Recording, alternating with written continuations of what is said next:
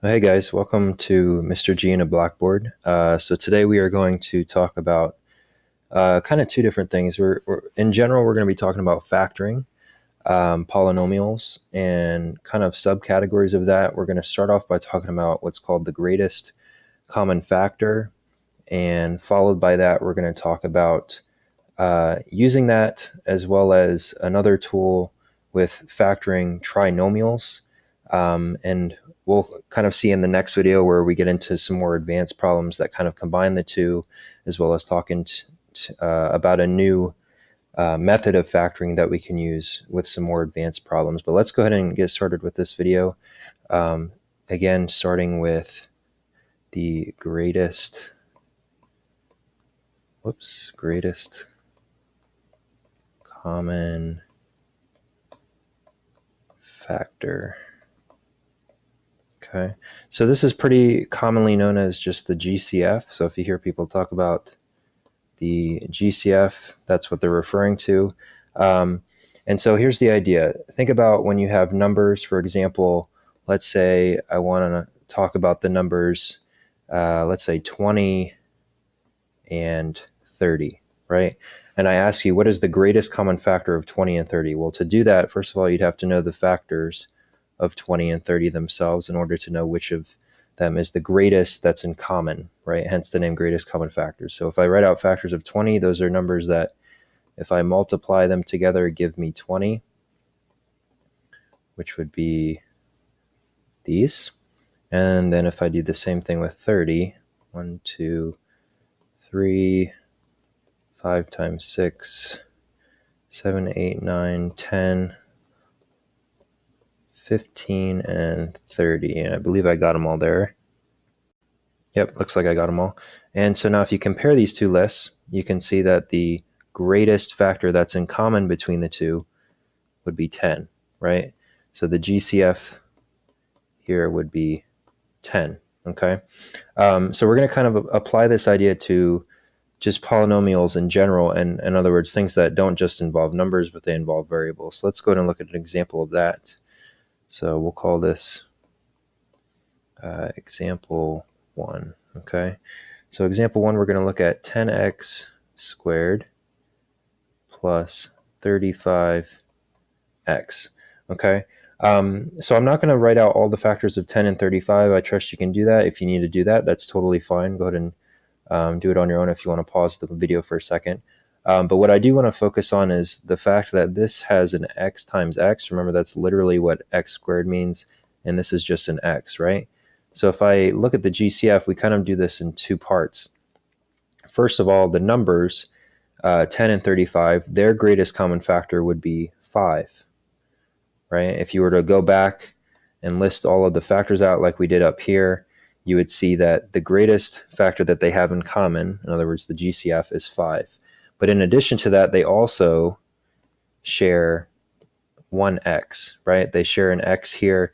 This has an extra x, but this one over here does not have that extra x. So therefore, they only have one x in common. So altogether, my GCF is 5x. Now, normally, you wouldn't just stop there unless they just said, give me the GCF. Normally, what you would do is you would actually take it a step further and factor out, which is uh, fix this here, which is um, basically just like division, right? So if I have this and I factor out a 5x, what am I left with inside? Well, if I do 10 divided by 5 is 2, x squared divided by x is x.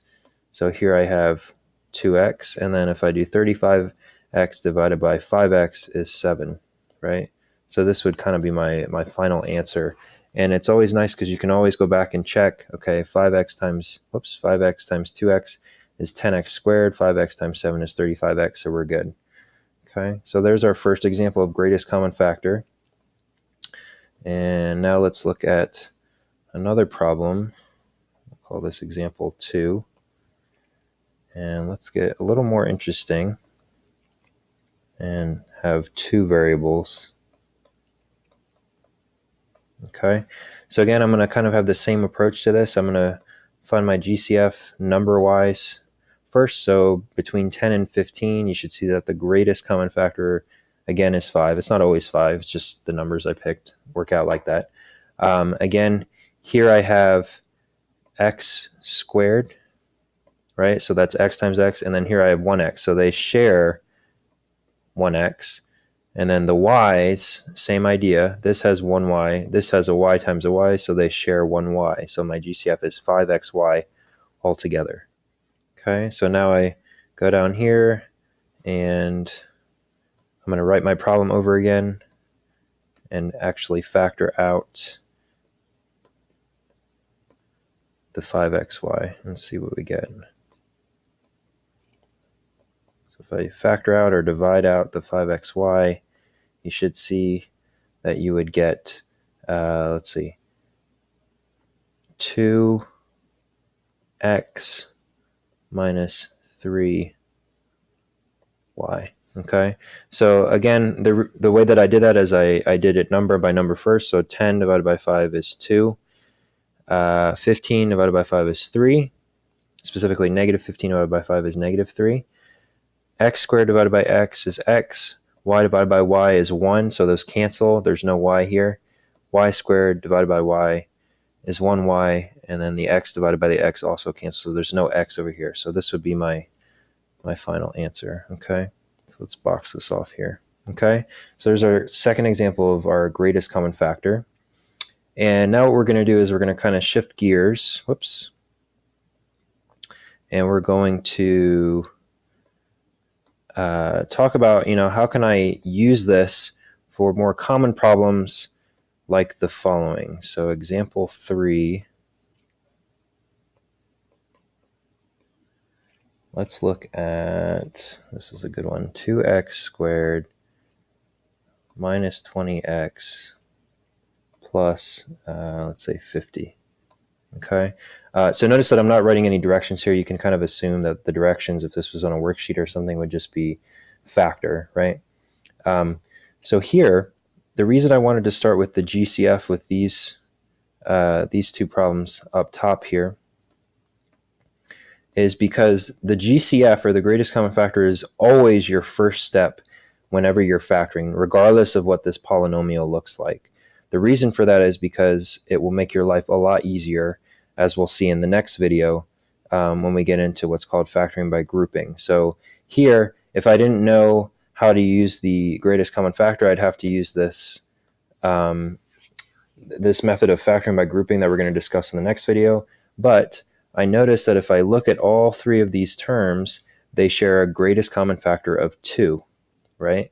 So what I'm going to do is actually set this equal to 2 and factor out that greatest common factor and see that I'm left with x squared minus 10x plus 25, right? And so here we're going to kind of shift gears again. And now I have a three-term quadratic. And so the way that we uh, factor these, or one method, there's a lot of methods out there. I'd encourage you to kind of experiment with what works for you. But the way that I do this is I kind of set up a table keeping in mind that my goal is to separate this trinomial into two binomials being multiplied by each other. Okay, um, so I'm actually going to do my table down here. And the pattern always goes like this. So you always do find two numbers that multiply to this last number. So in this case, positive 25. The sign does matter, so it's positive.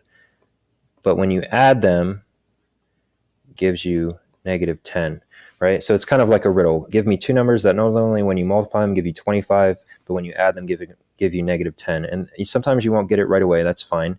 Um, but once you get the hang of it, you'll uh, figure it out. So sometimes it's just trial and error. So I know that this is going to be negative 5 and negative 5 because that's 25, so that works. And then negative 5 plus negative 5 is negative 10. So I take those factors and I just straight up plug them right up in here. And I get this, which I can write kind of shorthanded if I want to as this, right? x minus 5 times x minus 5 is x minus 5 quantity squared, right? And again, you can go through, you can use your FOIL method, in other words, the distributive property twice, your box method, however you like to multiply binomials and make sure that this guy here, whoops, that guy there does give you the uh, the original problem above it, right? Just write that in there. There we go. Right, so the x minus 5 times x minus 5, if you multiply it out, will give me this guy here, okay?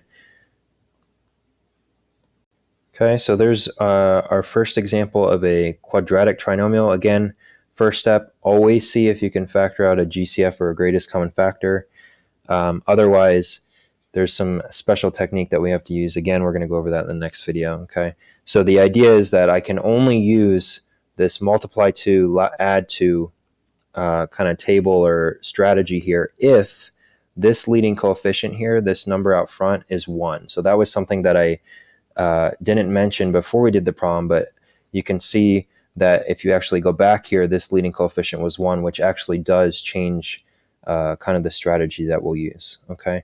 Um, so we're going to finish off with one more example. Actually, I got two more I want to go over. Let's look at example 4. Okay, so example 4. So this one, we are going to look at this. Okay. Actually, let's let's make this one a little bit easier and we'll, we'll do that one next. So one thing that you guys will see is a lot of times you'll get a problem like this where it'll be a quadratic, but there's only two terms and there's a minus sign. And I say the minus sign because that does matter.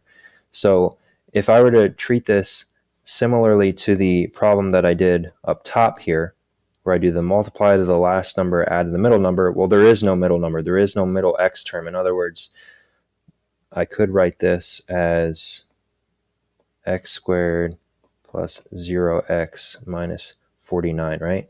So now if I go back and I use my method that I used on the previous problem, I would be asking myself, what are two numbers that when I multiply them give me negative 49, but when I add them, give me 0, right? That is a very weird looking zero. Let me try and make that a little better. Zero. There we go. Okay. Um, so again, if you play around with some numbers, you'll see that those are negative 7 and positive 7, right? Both of those work. I get negative 49 when I multiply them, and I get 0 when I add them. So that means that this guy here can be written as x minus 7x plus 7. Okay. And actually, this is a pattern that you'll always see. This is known as what's called a difference of perfect squares. I would write that down. Maybe we'll write it over here. Difference. Sorry about my pen. It's kind of acting weird today. Of two squares. Okay, so a difference of two squares meaning if you look here at the original problem, I have a difference, it's subtraction. And x squared is a square because x squared is x squared. I know that sounds kind of weird, but if I take the variable x and I square it, I get x squared. And then if I take the number 7 and I square it, I get 49. So I have a difference of two squares. And it will always be this pattern of x minus the square root of the number, which was 7, and x plus the square root of the number. And then remember that for multiplication, you have the commutative property. So I could have written the plus here and the minus here. It doesn't matter. Okay. Um, so now let's revisit that last problem that I started to write. So we are on example 5. So example 5, we have uh, 9x squared minus 49, right? So actually this is also a difference of two squares because I have 9 is a perfect square, 3 squared is 9, x squared is a perfect square, x, the variable x squared gives me x squared, and 7 squared is 49. So you can kind of guess that the factorization would end up being this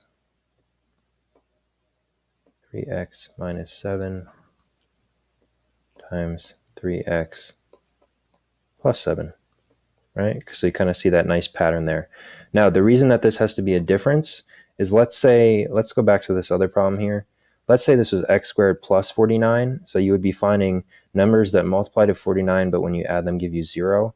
I guarantee you, you're going to spend a lot of time trying to figure that out because that's not possible. There is no number that when you multiply it uh, by itself gives you a positive number, but also gives you zero, right? So um, that's something that I encourage you to think through why that can't happen. And then you'd see why it has to be a difference of two squares, okay? Um, so that's going to be our last problem for this video. So we had, just to kind of recap here, let's go to the top. We talked about the greatest common factor. Then we went into factoring trinomials, right? Always starting with the greatest common factor if you can take something out. And then when this leading coefficient is 1, like it was in this problem, and actually in this problem too, right? The leading coefficient was 1. Um, this problem is slightly different. That's not a necessity. But uh, when the leading coefficient was 1, we used this multiply to add to pattern. And then we had the difference of two squares, which was kind of a special pattern that we could always use. Okay, so I hope you guys found this video helpful. Feel free to come back, come up with your own factoring problems, um, and give it a shot. Thanks for watching. Bye.